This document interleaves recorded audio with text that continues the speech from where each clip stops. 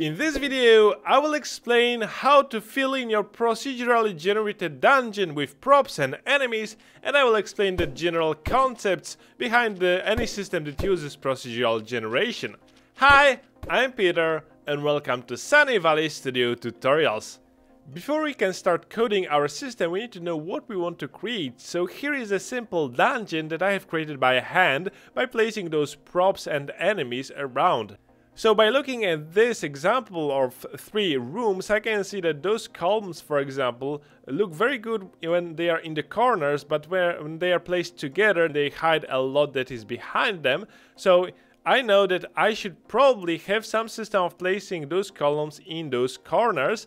On the other hand, those crates or those barrels look very good when they are placed together near each other in groups rather than alone because it looks more natural for those. This open uh, barrel looks decent enough but it does not look that good as a group of barrels.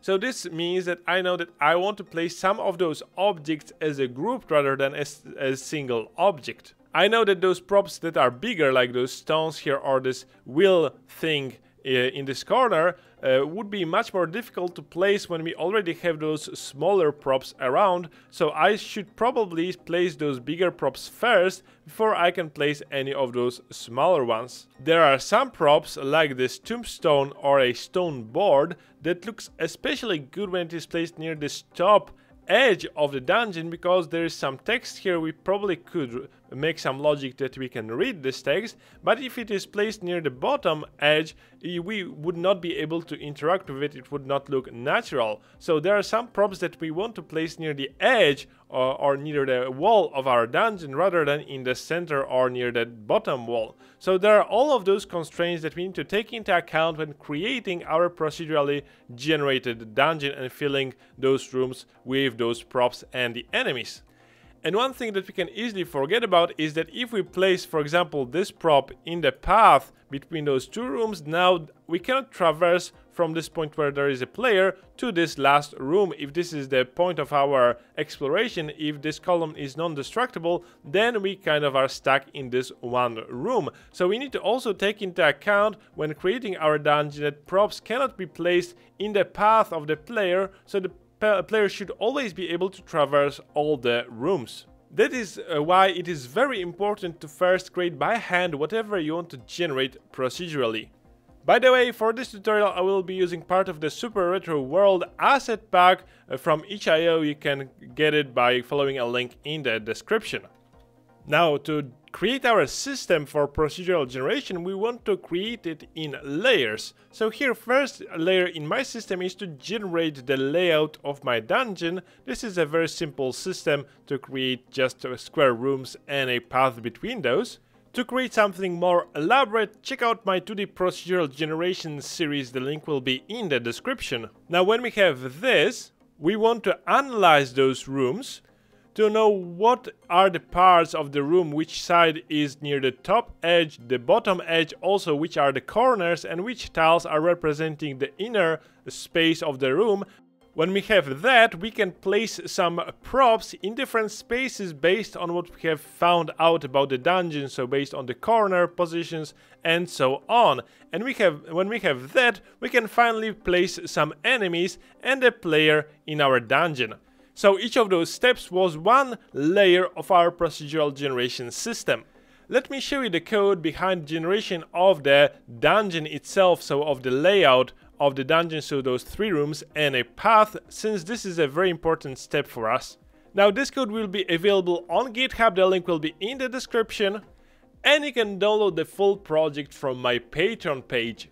So in our code, in our simple dungeon generator script, at the top we have the room size as a vector 2 int and this will be by default 10 by 10 room. We have the tile map reference, room map and the collider map so that we can place tiles representing our room and the collider around our dungeon as well as the tile based references that will represent our room floor and the path floor since I want to distinguish the path since we want to keep it clear of any obstacles. We will have have the input action reference since I'm using the new input system from Unity to get the input from my keyboard to start the generation process. And we have the Unity event on finished room generation. This is very important because we want to inform the next step in our procedural generation system that we have finished generating the basic layout of our dungeon. I will explain the four directions lists and dungeon data dungeon data reference later. For now, all you need to know that is that in the awake we either find this object on or created by calling add component add dungeon data, so this is a mono behavior, and we add to our input the reference to the method generate, so that when, we, when I press spacebar, I will call this method. So in this generate method, this is the bulk of the logic behind generating those three rooms and a path between those.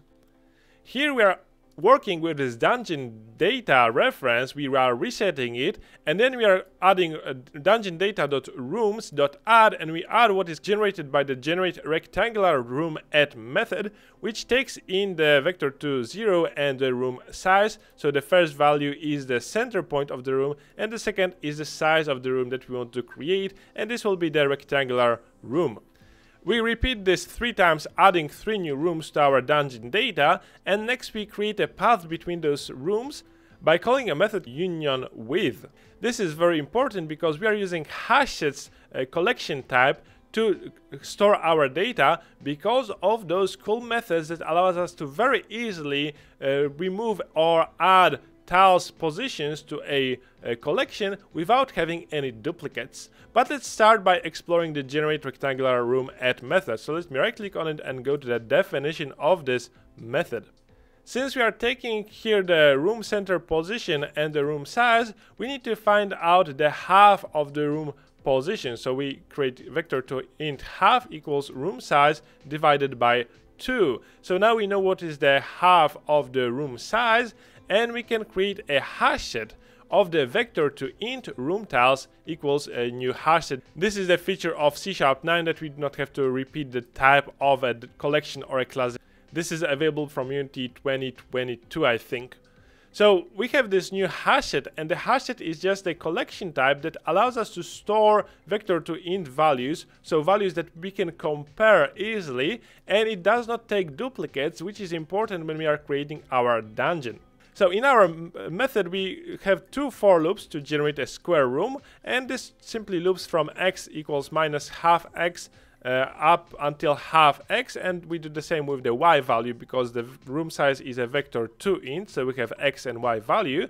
And since we are using the half of the room this room center position stays as the center point of this room this is a pretty simple logic. We generate a vector 2 position based on the room center plus the offset generated by, by this for loop and then we convert it to vector 3 int position int since we are using tile maps we need to get the world to cell position uh, we pass the position that we have uh, calculated here and we get the position of the tile that we need to set as our room floor. So we add it to our room tiles, so our hash that we have generated here, and then we set the tile on our room map, which is the tile map, to this, uh, so the position int to the room floor tile, which is the tile base reference. In the project, uh, we are using the tile map, so if I uh, disable it, you can see that I can enable and disable the tile map representing the floor of the room as well as the path between those rooms.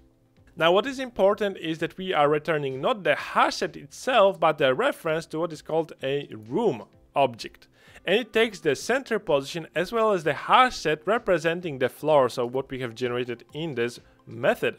So the room class, let me go to the definition of this, is holding the data about the rooms. This is the constructor that takes the room center and the floor tiles, but we store much more here. We store the room center and the floor tiles, but also the near wall tiles up, down, left and right, so the tiles near each of the edges as well as the corner, corner tiles references all as a vector 2 int as the hashset and this will be important when we are processing all this data about the room so that we can know where should we place our props or the enemies. Again, you can check this class inside the GitHub repository. We have the inner tiles to place objects inside the uh, room, as well as we get the reference to the props positions and the props uh, game objects, as well as the position accessible from the path and the enemies in the room, so that you can easily delete those when we want to regenerate our dungeon.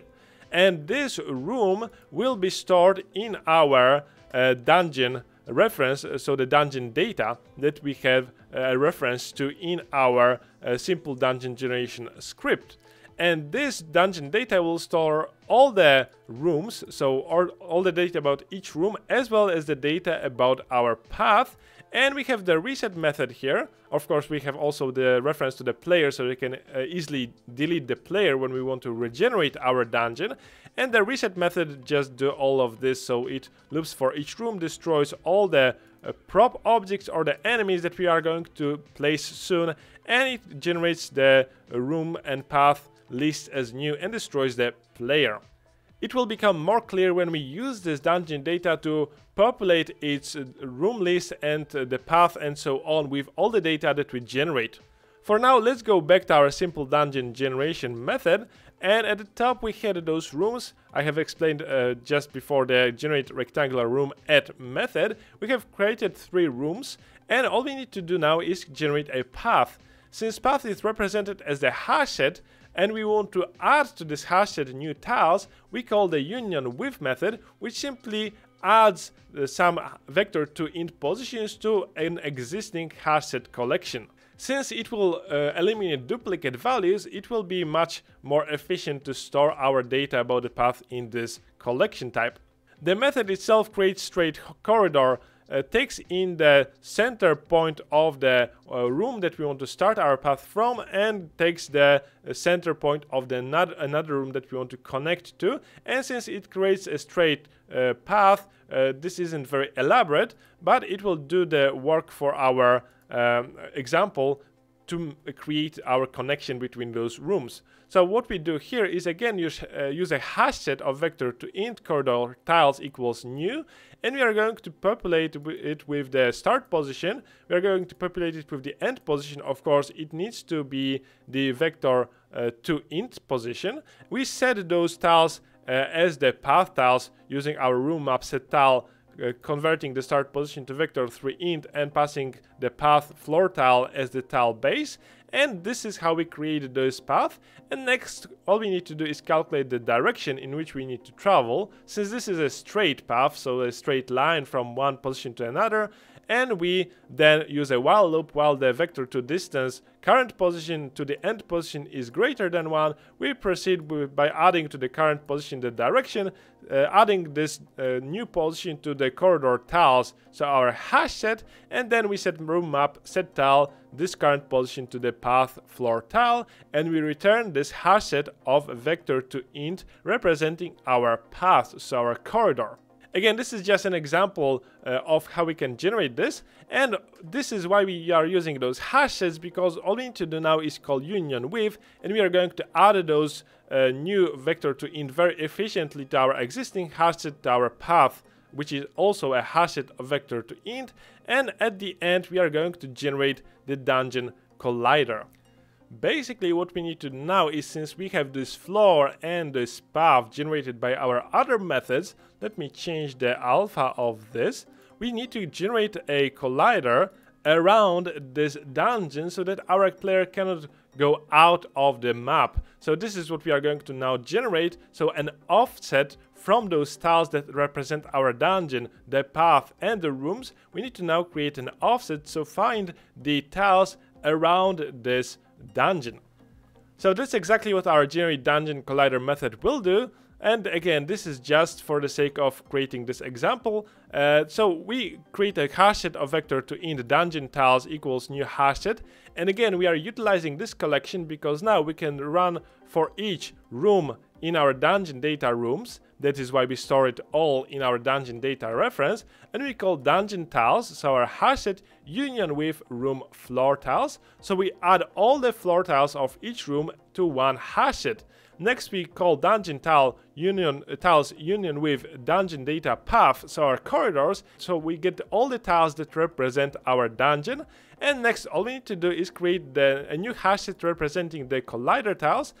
And here is where we are going to use those directions list. So we look for each vector 2 int tile position in our dungeon tiles. So each tile that represent our represents our dungeon, we are going to look for each direction. So vector 2 int direction in four directions. As you might recall, this is the list of all the directions up, down, left, and right. And we are going to simply create a temporary new position, and we are going to check if our dungeon tiles, so the tiles representing the dungeon and the path, do contain this new position, again, since we are using the hashset, this is a very fast operation of checking if this uh, position is in our hashset or not. And if it is not, that it means uh, it is the outline of our dungeon, so we can add it to our collider tiles.add the new position, and all we need to do now is for each vector 2 int position in our collider position, uh, collider tiles, we need to add to our collider map set tile position to the room floor, floor tile so that it automatically will generate the collider. Okay, so this is the first step of our procedural generation, generating the dungeon layout. The next step that we want to perform is to analyze our dungeon and extract the information about each room, so which tiles are near, near the top edge, which tiles represents the corners, since I have mentioned already that depending on what is the position, we want to place a different prop there, and of course we want to know also which are the inner tiles excluding the path since we not want to place any props on the path Let's take a break and in the next part I will explain how we are going to analyze those rooms. For now, if you are enjoying this tutorial, be sure to subscribe, leave a like, click the thanks button below, I would really appreciate it. See you in the next part.